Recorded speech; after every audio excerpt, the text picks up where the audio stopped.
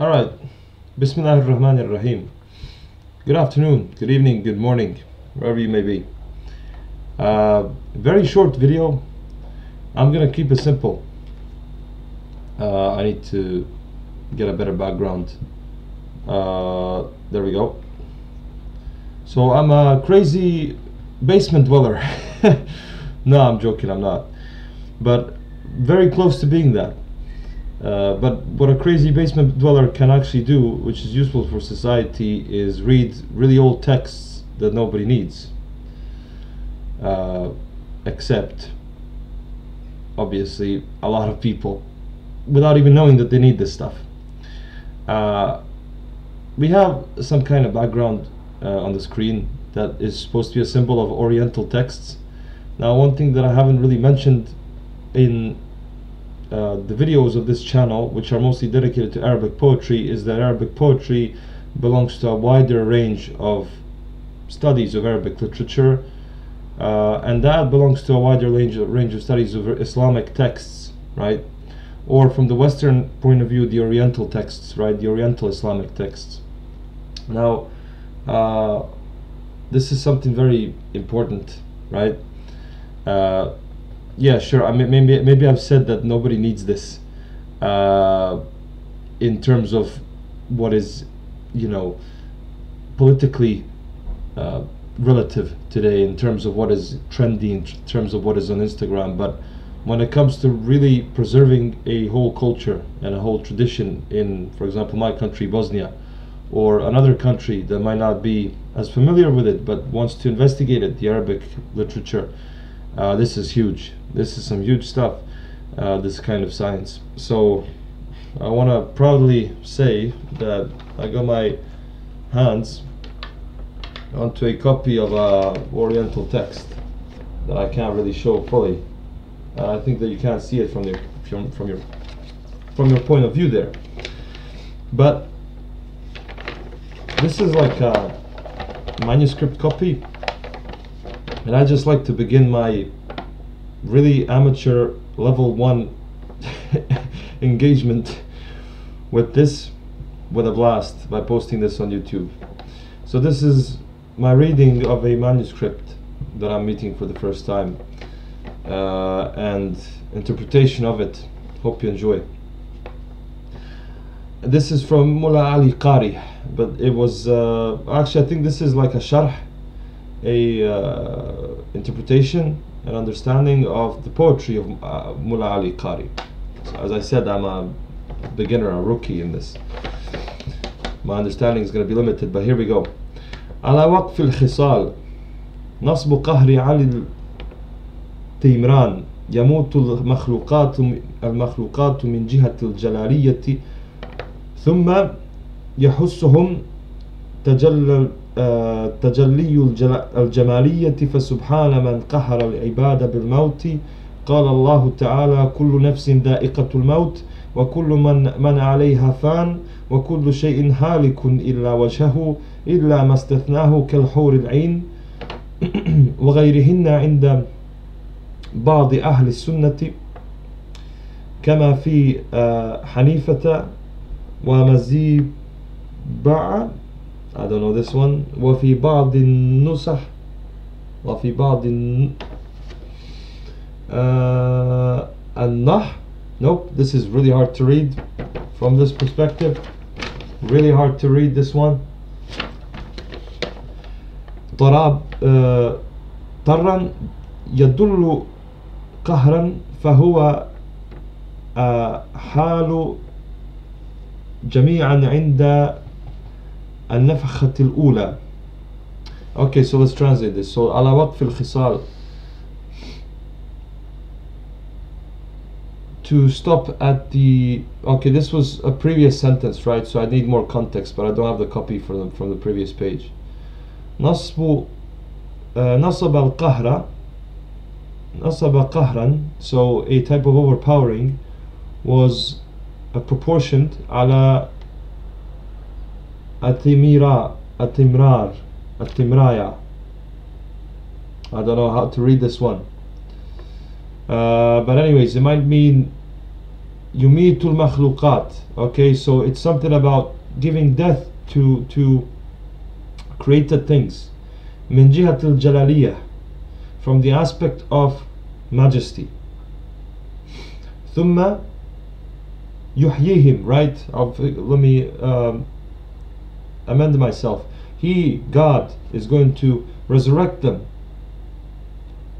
تجلى تجلي الجمالية to to manifest his beauty right so you have beauty and majesty in Islamic metaphysics فسبحان من قهر العباد so glory be to the one who has subdued his slaves بالموت with the manifestation of death with death قال الله تعالى the Almighty God has said كل نفس ذائقة الموت every soul shall taste death وكل من عليها فان this is in the Quran so بعد أعوذ بالله من الشيطان الرجيم وبسم الله الرحمن الرحيم وكل من عليها فان and whoever is upon it meaning the earth is going to disappear وكل شيء هالك إلا وجهه and every single thing is going to disappear except for his face for his being إلا ما استثناه كالحور العين except for those that he has exempted from this such as the حور العين very interesting that this is given as an example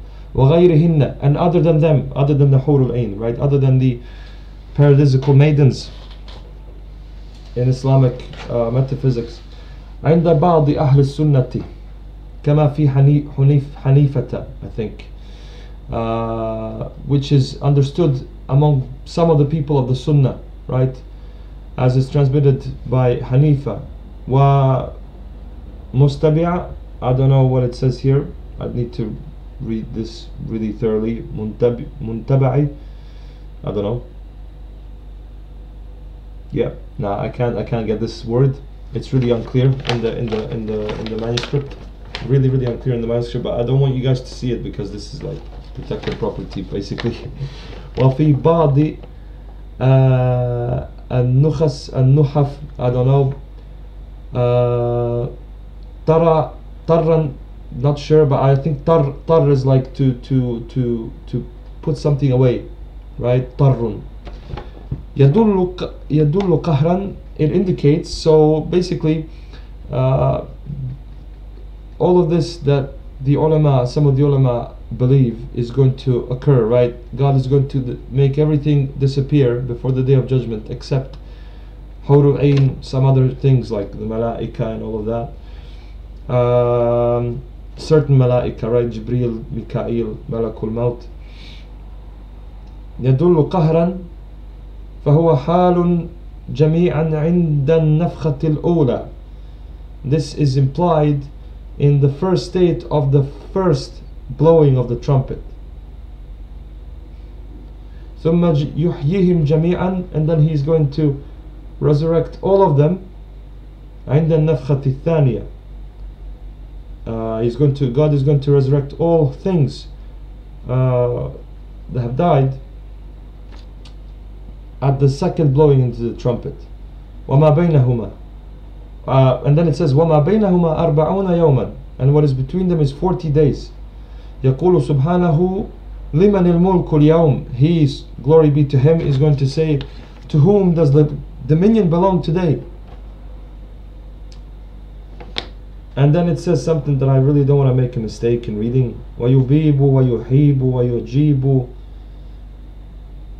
ويحبيب I don't know بذات الله with the essence of God الواحد القهار the one the overwhelming وفي البيت دلالة على البعث للحش للحشر and in this verse we find so this is a interpretation of a verse right all of this that I've been reading uh, in the bait in the verse we find a proof a indication to the bath to the resurrection للحشر uh, for the gathering والنشر and the and the emerging والجراء بالأعمال والجزاء بالأعمال and the rewards for the good deeds على حسب الأحوال uh, based uh, judged upon the upon the upon the inner states لقوله يومئذ يصدر الناس أشتاتا يروا أعمالهم and this is understood because of his words يومئذ on that day on the day of judgment the people are going to spread أشتاتا ليروا أعمالهم to be shown their deeds فمن يعمل مثقال ذرة خيرا يره and so whoever does a atom's worth of, of uh, worth of good is going to see it ومن يعمل مثقال ذرة شرا يره when whoever does an atom's worth of evil shall see it فلا uh, فل فلأهل الج فلأهل الجنة درجات ولأهل النار دركات and for the people of paradise there are levels degrees uh, or rather yeah levels uh, and for the people of, of, of, of the fire there are degrees right because he differentiates here right darajat for the ahlul jannah and darakat for the ahlul nar for the darakat is the word that's used for the people of fire so I don't know which one is better as a translation in English والمراد من الخلق هنا الحيوانات and what is intended here uh, among the created creatures are the animals lal walal eh, and not al al mahmadat al hamadat. Il il iljam iljam no I don't know this one. Wal and the the floral world right? The the the uh, so he says something and then he says the the word the world of the plants فإن الله يبعث من في القبور because God is going to resurrect whoever is in the graves ومن في أجواف الوحوش وحواصل الطيور and whoever is in the in the in the depths of the uh, al-wuhush of the lost lands or, or rather the uh, whoever is in the in the in the stomachs of the wild animals right وحواصل الطيور and carried by birds بأن يجمع أخرابهم الأصلية or أجز, uh, أجز, uh, sorry أجزانهم أجز, and there's like a spot here from uh, ink right at this point of the manuscript الأصلية so basically whoever's in these like whoever's whoever's remains are scattered in the birds you know like stomachs right from them eating at the graves or whatever أجزانهم أجزانهم الأصلية he's going to gather these like fundamental primordial materials بعد إعادة ما في منها بالكلية right and after he has i'ada right he has returned them into their free manniha bil in their in their ipseity in in their essence completely bi'ayniha right with with its totality ويجمع أخرابهم and he's going to gather their remains ويعيد الأرواح إليها and he's going to return the souls in them بالنفخة الثانية with the second blowing وهذا هو البعث and ha and this the second blowing is the resurrection it, it is the rising right one one nathr one nashr sorry and the and the and the you know the sorry it is the resurrection and the rising ثم يسوقهم إلى الموقف and then he's going to drive them to the place right to the standing وهذا هو الحشر and this is the gathering the assembly وقد قال تعالى ثم أي إنكم يوم القيامة تبعثون and then on the day of judgment on the day of resurrection you are going to be raised up وقال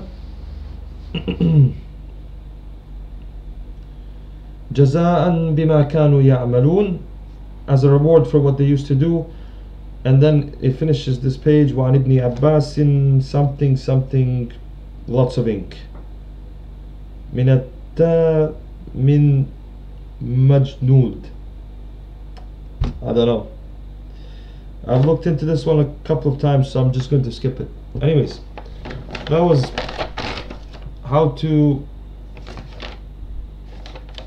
get a manuscript read it in Arabic and translate it demonstrate it live this is what Orientologists do this is what Oriental Studies students at the highest years of their uh, at the final years of their study do and uh, what basically researchers in this field do. Now one of the things that I wanted to do in my life was this. So I just wanted to mark my first reading which was my own right? Not at class not at whatever but something that I took from from a library as a copy and uh, read it uh, so reading is one thing and then understanding is another, another but to keep it simple I think that this text is basically an interpretation of a poem and it speaks about uh, details about the day of judgment and how we're going to see our good deeds and our, and our bad deeds. But if you go further into the manuscript it speaks about philosophy like how some of these ayat some of these like verses of the Quran they point to certain truths like that God knows the specifics and the generals and God knows everything basically. And that uh, you know there are differences between them right? And that they exist these differences. So it's a really interconnected metaphysical text. And it's really interesting to read these kind of man manuscripts. So yeah I hope somebody enjoyed this uh, session. Uh, that was very short. I, I think might have been a bit longer than I thought but uh, I hope somebody that is interested in this kind of material has enjoyed. Please forgive me for looking awful. I was sick for two weeks but I am uh, cured now so alhamdulillah I can keep doing my uh, stuff. And yeah make sure to subscribe to the channel man. Support the work that I do. Thank you. Take care. See ya people. Assalamu alaikum